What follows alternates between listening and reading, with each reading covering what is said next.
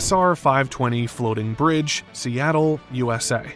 On the other side of the country, Seattle faced a different challenge. Its floating bridge across Lake Washington, built in the 1960s, had outlived its intended lifespan. Cracks, leaks, and constant traffic pushed Washington state to build a replacement.